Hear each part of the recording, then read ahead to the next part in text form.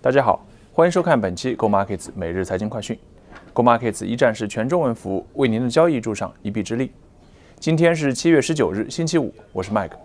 首先，我们还是来回顾一下昨天周四的市场情况。澳洲股市呢，在昨天整体上来说，因为这个大头必和必拓和力拓的下跌，使得大盘最终是下跌了百分之零点三，收盘收在六千六百四十九点。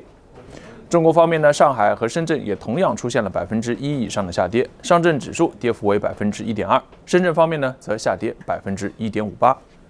在欧洲方面，英法德平均跌幅约为百分之零点三至百分之零点七左右，但是美国指数在昨天依然是出现了轻微上涨，道琼斯指数目前还是在两万七千点以上，最新报价大约是在两万七千二百二十二点。标普五百同样也是和道琼斯一样上涨，大约是百分之零点二左右。那在股市以外地区，黄金价格随着美元降息预期的不断加强，黄金价格目前爬上至一千四百四十美元大关。油价呢则进一步下跌至大约是五十七美元附近。比特币价格对比两天之前反弹一千美元，目前最新报价是一千一万零五百美元一枚。那么在今天的热门话题中，我们首先来说一下的是呢，由于过去两个月，澳洲联储呢是连续两次降息，使得目前澳洲的房地产似乎出现了春天的迹象。那么房地产如果是开始反弹，对于我们来说，有哪一些股票可以选择，能够适应这个房地产的反弹呢？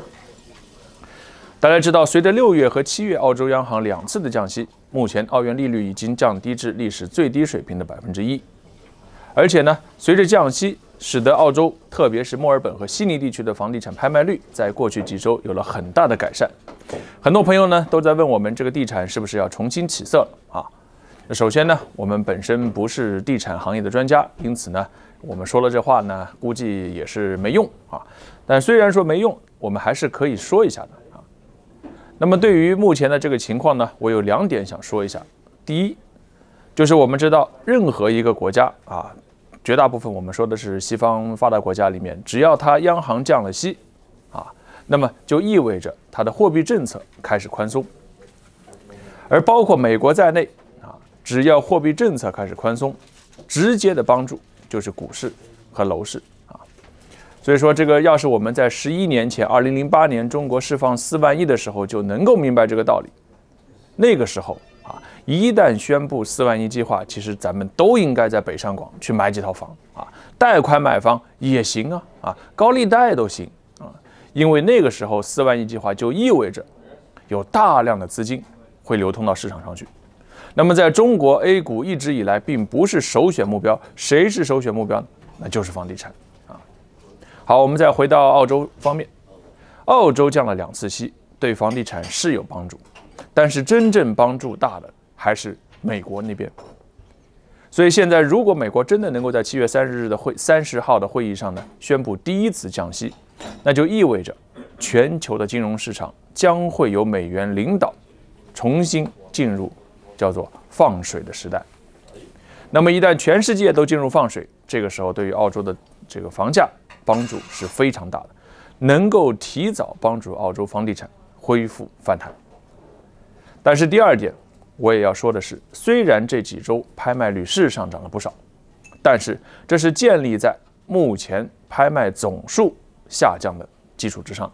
换句话说呢，现在墨尔本和悉尼虽然我们看到的拍卖率高达百分之七十以上，但是现在每周拍卖的房子的总数对比两年之前是下降了一半。我们只要稍微有一些数学常识就知道呢，现在分母比之前少了一半，那么这个数值自然。就会提高啊，所以说，如果真的像两年之前一样啊，可能数量是一倍以上的话呢，我想拍卖率不会像现在这么好看。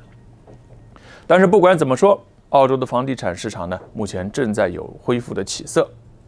那么大家要问，如果地产恢复之后，有什么股票是能够直接获利的呢？我们知道和地产相关的股票有很多啊，从房地产的开发商到材料的供应商，到商场、写字楼、工业地产、仓库等等等等，都和房地产市场有关。但是，地产拍卖率上涨最直接的影响，或者说受益最快的，我认为是房地产的买卖网站。也就是说，卖房网，或者说是挂牌的网站。那么在澳洲，Domain 和 REA，也就是 Real Estate，就是两大卖房的网站。随着拍卖率的上涨，会有越来越多的房东愿意把房子挂到网上去。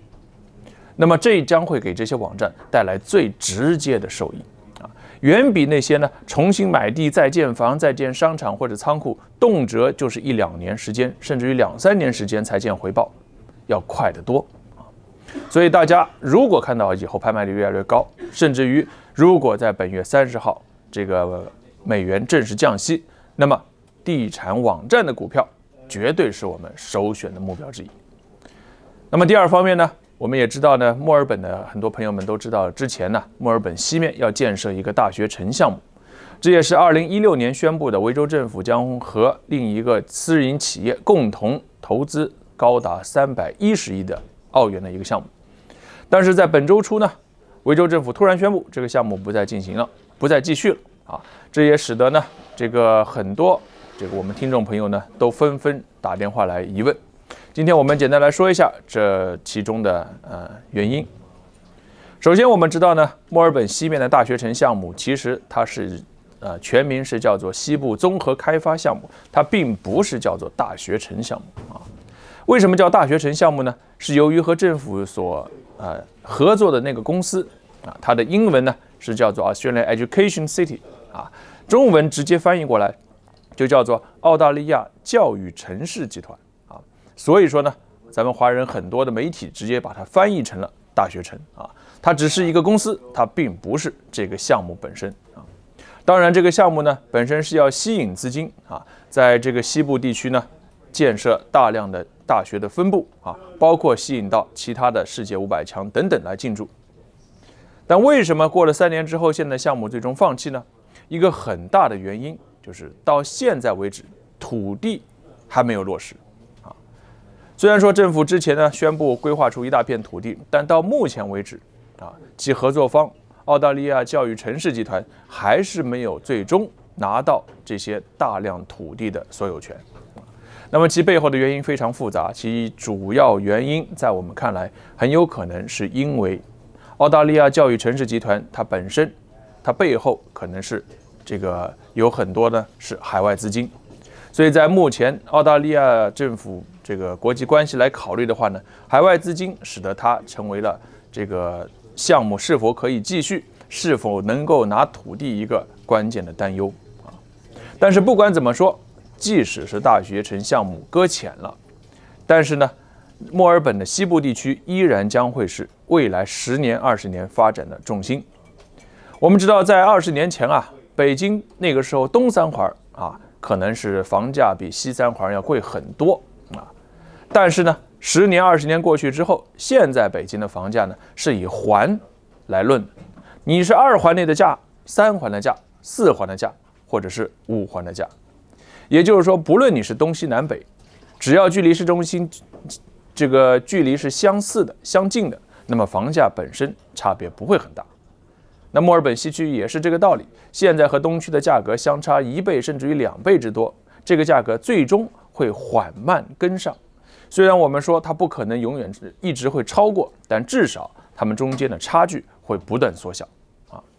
由于人口的迁移以及西部发展的这个之之前的基础很比较薄弱，所以就像我们说的，哎，之前是零，那随便一做那就是翻几倍。如果你之前的基础是一百，你现在即使做了五十，增长也只有一半啊。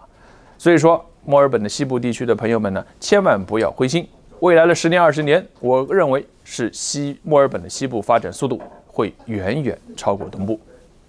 那么我们在下个星期天也会在墨尔本西区 Point Cook 的凤凰酒店为大家带来最新的一次股票投资讲座，以及我们所大家华人喜爱的民宿投资的内容。欢迎大家到时参加，时间就是在一个下个星期天上午的十一点三十分到一点钟，地址就是在 Point Cook 的凤凰酒店。以上就是本期 Go Markets 每日财经快讯的内容，欢迎您的收看，我们下期节目再见。